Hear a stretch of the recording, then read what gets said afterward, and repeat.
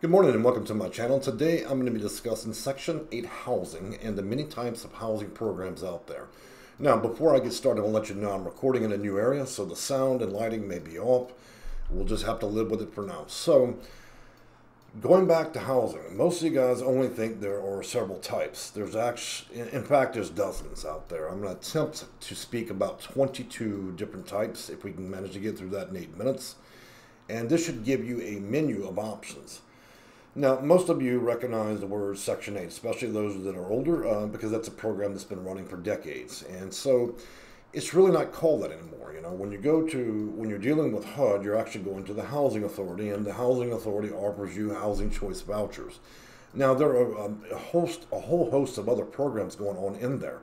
So if you don't know your rights or what you can get, you shouldn't expect these people really to, to offer it to you because they're probably wanting to do the least amount possible to get you housed. So they're not going to bring out a menu like a restaurant and just tell you, hey, here's all the fabulous op- uh, options you have.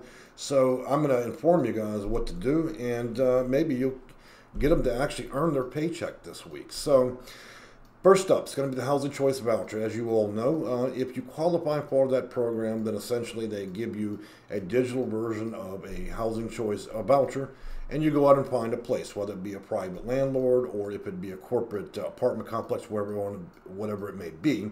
It's your option, okay?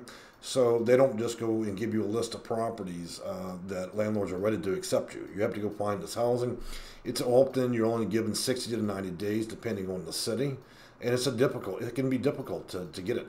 In addition to that, uh, the housing choice voucher, depending on the city, can be anywhere from eight months uh, waiting list up to 15 years. Um, that's why I tell people, you know, as a consultant, I've been doing it 15 years, six years on YouTube.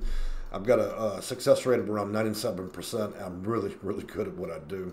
So I'd encourage you to watch the consulting video that um, I was suggesting because I send people through housing authorities like a streak of lightning, okay? There are those that wait decades, and there's my clients.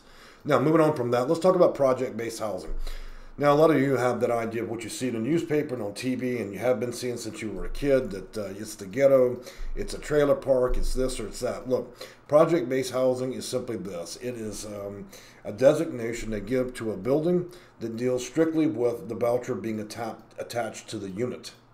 So unlike the housing choice voucher, um, the funding um, that the rent checks are specifically tied to unit A1 or A, uh, A2 or A3. So you cannot port to any different areas, counties, or states or cities. You're literally, when you receive the funding for that specific apartment, you're stuck in that, okay? Until I can convert you out of that back over to HCV. Number two, uh, I, let me be honest with people, and I know this is going to hurt some feelings.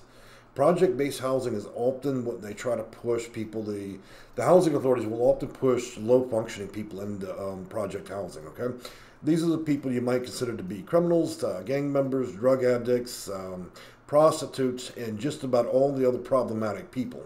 I'm not suggesting the elderly and homeless go there, but I suspect strongly, uh, based on racism and prejudice and other issues in our society, that a lot of people that um, end up a project housing. I like to pull the, some of the more tenuous people there, and while they give ACB vouchers to people that function high on a higher level. So that's just strictly my opinion, but I think after 15 years, I know what I'm talking about. Okay, so beyond project-based housing, which I really don't recommend for anybody, um, there is Section 811. Look, the word Section 811 is actually just funding. Okay, it doesn't. It's not a physical entity. It's not a physical voucher. So you guys running the housing authority, give me the 811. Well, the, you know, they're going to look at you like you're crazy, okay? 811 is a designation. So if you go in there and you have the right criteria, disabilities, maybe combined with age or military service, then it might be applicable to pull funding from the 811 program in order to give you an HCV voucher that pays slightly more than the average person, okay? So quit going into the housing authority, give me 811. The second is going to be section 202. And I want to tell you, you know, I know there's a lot of seniors on my channel, and regrettably, after 150 videos, I have never made a video specifically about seniors. And I'm going to address that in the very next video because you guys have a lot of options. So let's start with Section 202 housing. That is supportive housing for the elderly. It's often 100% pay. You uh, either includes utility uh, property that's all inclusive of utility, or um, they'll pay for it. So I don't want to go too deep on that today, but I just want to let you know that if you are 55 and older or 62 and older, you have some great options out there, and you will not be housed in a ghetto. All right, just to be clear. If you consult with me, I can assure it won't happen. I know how to navigate their system to ensure that you would never land in a situation like that. Next up is going to be Section 3. This is housing plus uh, uh, employment opportunities. These are often the most critically endangered neighborhoods what to have the most problems. So they often combine the ability for you to not only receive housing in a low, very low income um, neighborhood, they also give you an opportunity to work, which means there are jobs available. So you're able to, uh, to benefit from both the housing and also receiving a, a job. Now, that I should tell you is um, very limited and only in certain areas in certain cities, okay? Continuum of care. Boy, we've really talked about that a lot uh, over the past couple of years, and uh, it is a hidden program. They don't like to market it or advertise it simply because they don't want the bull's rush from uh, HUD housing. So they don't want 30,000 people in a waiting list rushing over to COC to get that housing. It was originally designed for homeless people, possibly people getting out of prison, stuff like that. But uh, let me tell you something uh, COC housing. It includes a few programs, rapid rehousing and PSH, PSHC. And so it's it's a good program. I've usually get a lot of clients as a stepping stone while they wait for the for the really long HUD uh, waiting list, okay? And so this, you know, COC housing happens usually within 30 to 35 days. If you live in Florida, LA, those times can reach anywhere. It can reach up to 90 days or longer. All right. And with the pandemic uh, convoluting everything, it could actually go a little bit longer. But most of my clients that I've dealt with get it under 30 days. Um, now, I should tell you that COC housing is also known as a continuum of care, coordinated entry, the ESG, the BOSE system, and let me tell you, every state likes to give it a new name, so I'm constantly having to keep up with uh, all the new versions of it, okay? Now we're going to move on. Uh, I think we already covered project based housing, so we got a duplicate. Now I'm going to talk about PSH, that's permanent supportive housing. Permanent supportive housing is 100% pay. It's for low functioning people. Um, you you go through a process, and if you have the qualifying issues, which I know what those specifically are, um, you're able to get housing where they pay 100% of the rent and utilities, and it's a pretty good deal. As long as you don't violate the lease, break the law, or abandon the unit, it's pretty much yours for life. Now, I should tell you that it's a rare unicorn to get that, all right? Again, uh, you know, one thing it's not bragging rights, but I definitely get my clients that if it's on the market, if it's available, and there's 100 applicants, and only you know there's 100 people apply, I can assure you that if you went through me, you'll get the rare unicorn. Okay.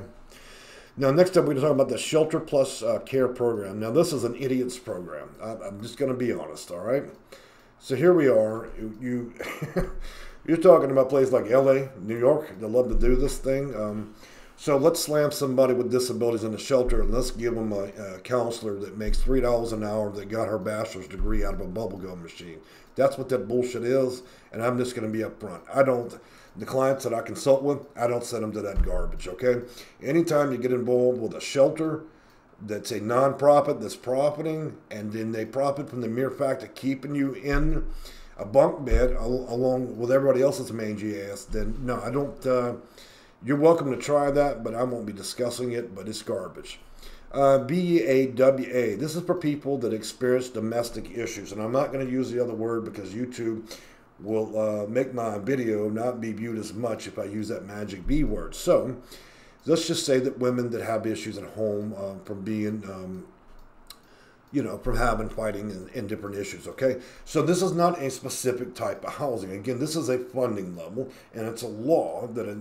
So what happens is when you discuss those particular issues revolving around domestic problems in the home, what would happen is they designate certain funds to allow you to get a housing choice voucher and a host of other programs into housing quicker is what it does all right? So it's not you can't go in hey give me some VAWA housing. It doesn't exist that way.